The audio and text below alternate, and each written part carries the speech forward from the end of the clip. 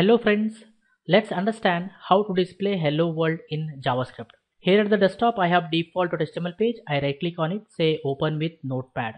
You can see the default HTML page is open in the notepad. Inside that I have written opening script tag and closing script tag. In the script tag we write the JavaScript code. I minimize it. I right click on default HTML page, say open with Google Chrome. You can see default HTML page is open in the Chrome. I want to display here hello world with JavaScript. For that Inside the script tag, I say document dot write bracket bracket semicolon.